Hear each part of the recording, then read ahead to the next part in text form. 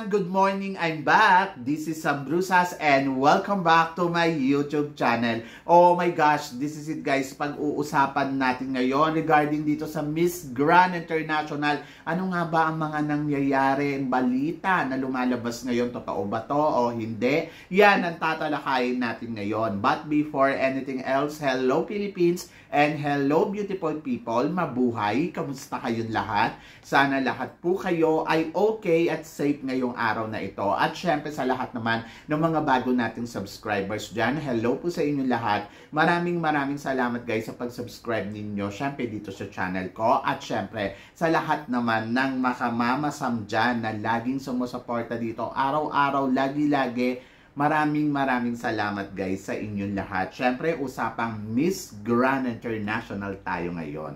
So, eto nga, bago pa lang mag-New Year, may mga pumutok ng balita regarding dito sa Brazil, di ba? Na ang CBN ay no longer hold the Miss Grand Brazil franchise. So, syempre, marami nagulat. Ang sinasabi nung iba, ay nako, binatawan na ng Brazil ang Miss Grand. Mali po. Ang Miss Grand mismo ang nakakuha ng bagong organization na ipapalit nila dito sa CBN. So, pinalitan ng Miss Grand yung CBN. So, nagulat din naman yung CBN doon sa desisyon ng Miss Grand kasi 'di ba parang inaayos nga nila pero nandoon sila sa part na na na napalitan na sila kasi may nakuha ng bago. But uh, regarding doon sa CBN, naiintindihan naman daw niya yung business side na tinatawag. Business is a business.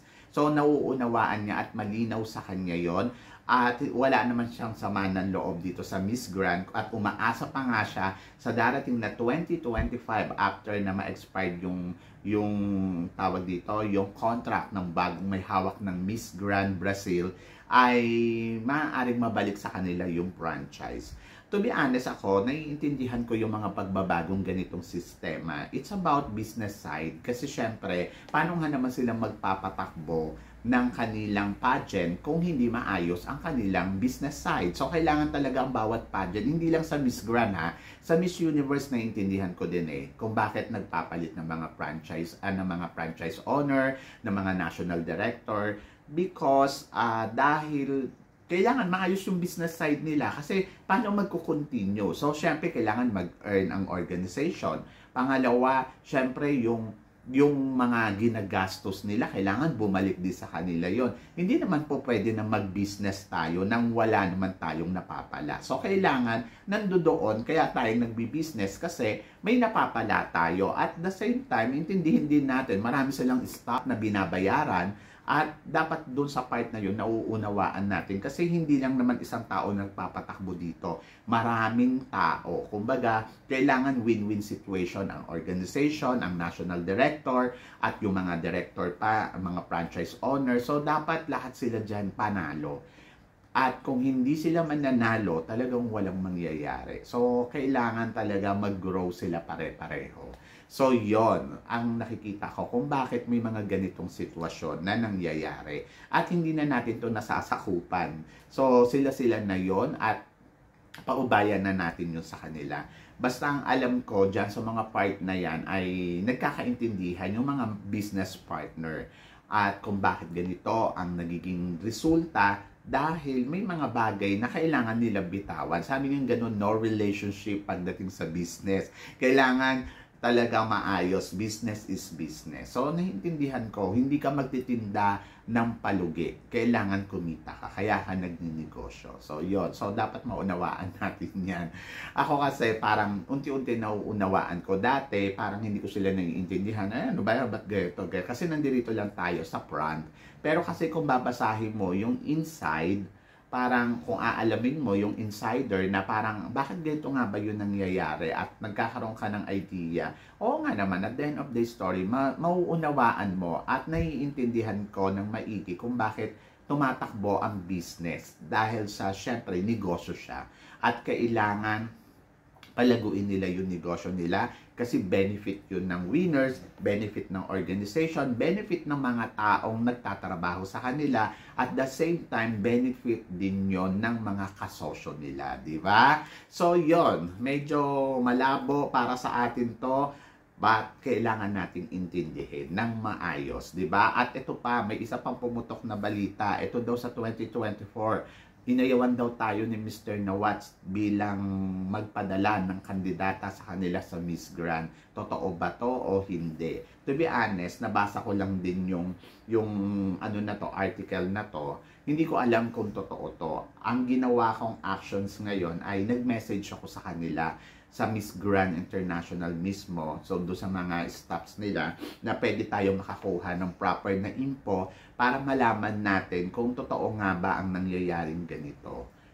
To be honest, wala pa silang sagot kasi ngayong umaga pa lang naman ako nag-message. So, siguro baka bago matapos tong araw na to, makakuha tayo ng sagot sa kanila.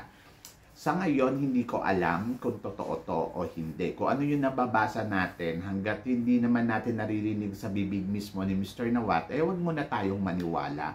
Kasi medyo mahirap, di ba? Yung iba natutuwa kasi syempre sabi nila, it doesn't matter naman daw kung hindi na daw tayo magpapadala ng kandidata dito o ayaw na daw tayo sa Miss Grand. But guys, as long as possible na pwede naman maayos ang relationship, pwede naman maging uh, alam mo yon meet halfway, why not? So, nakakalungkot isipin kung totoo man to ha. So, medyo nalungkot ako sa part na yon kasi parang feeling ko uh, hindi maganda para sa atin na ayawan tayo ng isang organization. So, siguro mas may intindihan ko kung halimbawa uh, yung organization natin sa Pilipinas medyo hindi na tayo inintindi, di ba? So, parang yung organization sa Pilipinas na parang ayaw niya na talaga magpadala. So, ang tingin ko doon, kukuha lang ng ibang kapalit. So, mahirap kasi kapag ang kaso, sila na yung umayaw sa atin. More than doon sa tayo yung umayaw.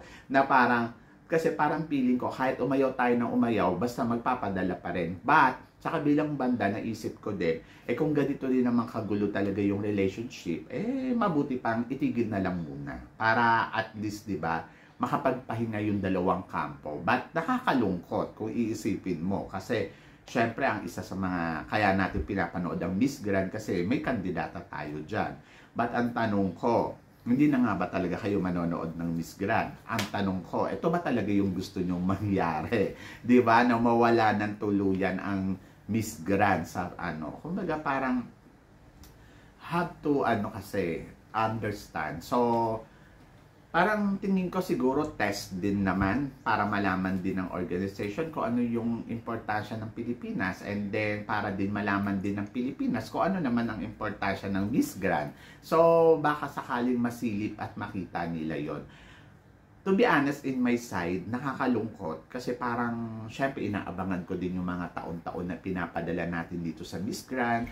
At kahit naman ganito yung nangyayari, nakikita ko din naman na yung organization natin may pagkukulang din naman talaga kahit naman noon pa. So, ang ano lang, kaya lang kasi parang yung organization din naman din talaga ng Miss Grand, maloloka ka rin naman sa kanya sa sitwasyon na nangyayari. So, hindi talaga nagkakaintindihan. Parang ang gulo-gulo. Kaya lang kasi, kapag ganito ang isang pageant na inayawan tayo, maaaring ganito din ang gawin ng ibang pageant sa atin. Kung parang feeling nila ay nawawala yung respeto, ay feeling nila na parang nagiging abusado na yung mga ginagawa natin sa kanila, kasi hindi naman to mangyayari kung hindi din naman sila nasasaktan. At hindi naman talaga mangyayari to kung wala din nasasaktan. Kumbaga, magulo. So, parang feeling ko, kailangan muna talaga din magpahinga. So, wala tayong magagawa. Kung totoo man to, eh, alam ko yung iba dyan, ikatutuwa nila yan ng bonggang-bongga kasi parang ayun naman talaga ang gusto nilang mangyari. But tulad nga ng sinabi ko, eto ba talaga yung gusto nyong mangyari. So, ayan, ganito nga. Kaya lang sana hindi to makaapekto sa ating mga susunod pang mga laban sa iba pang international pageant or hindi rin to makaapekto sa ibang international pageant kasi kung nagawa to ng isa, pwedeng gawin to ng iba. Huwag naman sana dumating tayo sa punto na lahat na lang ng pageant ay inayawan na ang Pilipinas dahil kung gaano tayo ka-open doon sa mga sinasabi natin at kung gaano tayo kadali na magsalita ng isang sa isang pageant na, ay nako, hindi naman totoo yung pageant ninyo. So medyo sana hinay-hinay din sa atin, di ba? So yon Kasi parang feeling ko, uh, both side may mali. Oo, yun yung nakikita ko. Both side may mali. And then, sana maayos pa rin, umaasa pa rin ako na sana dumating yung panahon na maayos at maiklaro to ng maigi. So sa ngayon hindi pa naman confirm talaga kung totoo ba to na sinasabi nga ni Mr. Nawat na ban na muna ang Pilipinas sa Miss Grand International. So hindi pa nating klaro dahil hindi pa naman natin naririnig sa bibig niya. Eh, kilala naman natin si Mr. Nawat na very open naman siya. Ang nakikita ko lang dito siguro magpapalit ng ibang organization. Kasi yun yung nabalitaan ko na kung ayaw ng ni Mr. Arnold hawakan ang Miss Grand Philippines, I think meron mga nag-email sa kanya na pwede, na pwedeng humawak ng Miss Grand Philippines. So, yun yung mga narinig ko na willing naman na hawakan ng Miss Grand Philippines. Kumbaga, umaayaw man yung isa, may tatlo nyata na organization na gusto saluhin yung Miss Grand Philippines. So, parang feeling ko, ayun yun, na sanang mag-work para at least hindi naman dumating sa punto na ganito na yun nangyayari na mismo yung honor na ng organization yung umayaw sa atin. Mahirap kasi kapag ganun talaga guys at parang feeling ko nakakalungkot. So, maaaring sasabihin ng iba, okay lang yan. Yung iba sasabihin na parang buti nga yan. Yung iba sasabihin na parang uh, okay na yan kaysa naman sa ganito yung sitwasyon So ako para sa akin siguro as long kayang ayusin at magkaintindihan gawin yung the best para alam mo yon hindi naman magandang tignan na parang inaayawan tayo ng isang organization. So yun lang yung akin. So mas maganda na yung tayo yung parang alam mo yun, yung parang what, ayaw natin magpadala.